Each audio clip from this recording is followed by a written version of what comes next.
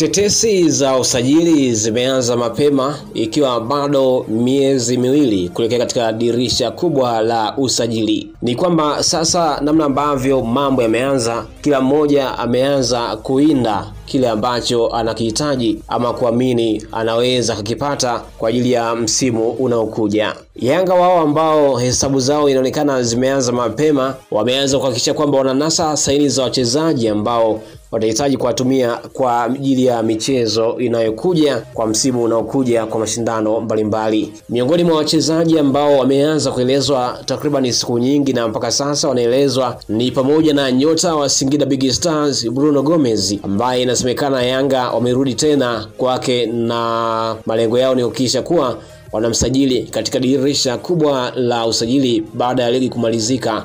Mipango inaonekana tayari imekwisha kuanza. Bruno Gomez ni mmoja kati ya wachezaji ambao wamekuwa nyota na wenye mchango mkubwa kwenye kikosi cha Singida Big Stars toka kusajiliwa kwake, na miongoni mwa wachezaji ambao wanafanya vizuri kwenye ligi kuu soka ya Tanzania bara.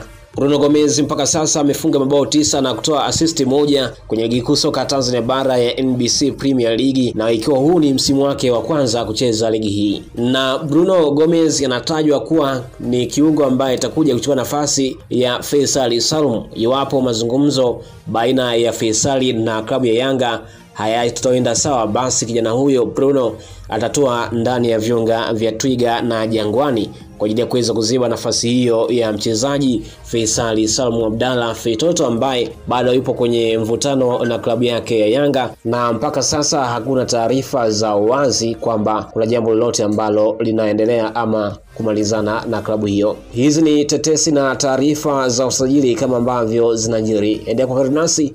Hii ni Uhondo TV. Kumbuka kusubscribe, kulike, comment pamoja na kushare.